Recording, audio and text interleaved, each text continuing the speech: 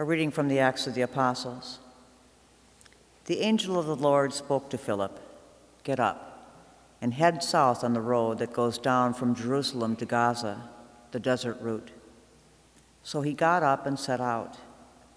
Now there was an Ethiopian eunuch, a court official of the Candace, that is, the queen of the Ethiopians, in charge of her entire treasury, who had come to Jerusalem to worship and was returning home.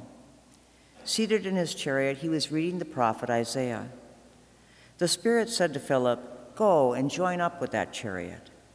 Philip ran up and heard him reading Isaiah the prophet and said, Do you understand what you are reading? He replied, How can I unless someone instructs me? So he invited Philip to get in and sit with him. This was a scripture passage he was reading. Like a sheep, he was led to the slaughter and as a lamb before its shearers is silent, so he opened not his mouth. In his humiliation, justice was denied him. Who will tell of his posterity? For his life is taken from the earth. Then the eunuch said to Philip in reply, I beg you, about whom is the prophet saying this? About himself or about someone else? Then Philip opened his mouth, and beginning with this scripture passage, he proclaimed Jesus to him. As they traveled along the road, they came to some water. And the eunuch said, Look, there is water. What is to prevent my being baptized? Then he ordered the chariot to stop, and Philip and the eunuch both went down to the water, and he baptized him.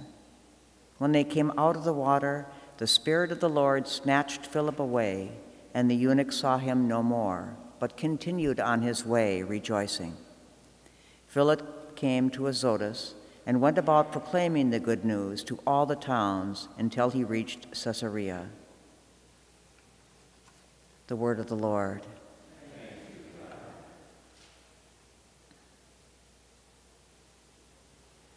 Let all the earth cry out to God with joy. Bless our God, you peoples, loudly sound his praise. He has given life to our souls, he has not let our feet slip. Hear now, all you who fear God, while I declare what he has done for me. When I appealed to him in words, praise was on the tip of my tongue. Blessed be God who refused me not my prayer or his kindness.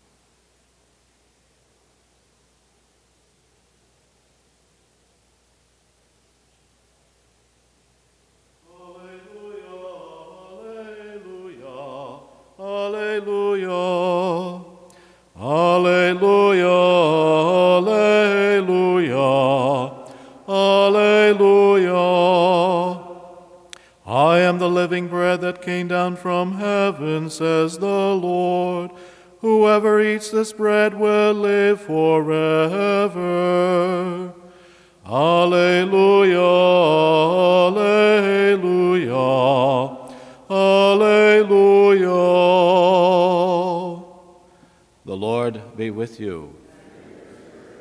A reading from the Holy Gospel according to John.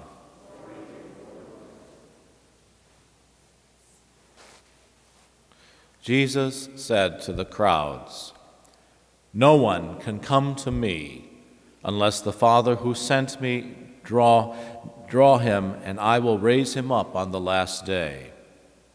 It is written in the prophets, They shall all be taught by God. Everyone who listens to my Father and learns from him comes to me. Not that anyone has seen the Father except the one who is from God. He has seen the Father. Amen, amen, I say to you, whoever believes has eternal life. I am the bread of life. Your ancestors ate the manna in the desert, but they died. This is the bread that comes down from heaven, so that one may eat it and not die. I am the living bread that came down from heaven. Whoever eats this bread will live forever, and the bread that I will give is my flesh for the life of the world. The Gospel of the Lord.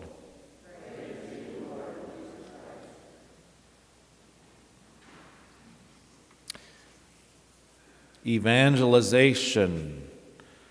We're hearing an awful lot of that word lately. Obviously, it's important, and certainly that sense of evangelization comes forth from, as we've been reading through the Acts of the Apostles here, in this wonderful encounter between Philip, one of the seven deacons of the church, who appears sent by the angel to this Ethiopian. We're not exactly sure what the status of the Ethiopian is, whether he was a Gentile or a or just a a Jew, part, part Jew, who was just trying to figure things out. There's lots of scriptural debate on that, but nonetheless, one thing we notice, though, is, and of course we have to remember that Luke is the author of the Acts of the Apostles, but this story has pretty much the same framework as in Luke's gospel, the resurrection day encounter of Jesus with the two men going to Emmaus. The structure is pretty much the same. They're traveling, Ethiopian, traveling. They're discussing amongst themselves the scriptures, trying to figure it all out, and Ethiopians doing the same and then suddenly a stranger appears in their midst and accompanies them along the way. And then that stranger opens their minds to the scriptures. And then we have a sacramental encounter with the two going to Emmaus. Our Lord broke bread, Eucharist, and their eyes were opened. And in this case, Philip the deacon, they come to water and the Ethiopian is baptized. And then they rejoice in great glory as both Jesus disappears and Philip disappears as well.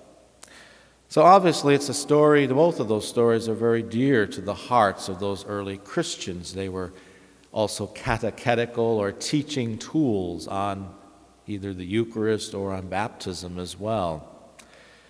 But going back to evangelization, remember the words of Jesus on Ascension Day Go and make disciples of all nations, baptize them, teach them all things that I've told you to observe. And that was not a mission or a command just to those apostles or disciples. That's really a command for all of us. And at the heart of all of this is the encounter with Christ. It begins by dwelling on His Word, the Scriptures, pondering, maybe trying to figure it out as to how it applies to my life. But in the midst of that, we have to firmly believe in our faith that the risen Christ will be there with us. We will encounter Him and He will open our minds. And that's why we also need to continue to pray to that Holy Spirit that Jesus sends upon us, because it is that Holy Spirit that dwells within us that assist us in opening our minds to the great love and the mercy of God. So, as we encounter our Lord in this liturgy today, may our hearts also burn with joy, excitement. May we too rejoice like this Ethiopian, as well as the two who are returning back to Jerusalem after their encounter with the Lord on that resurrection day. May Jesus continue to breathe his Spirit upon us, and may we too be proclaimers of the good news to those all around us.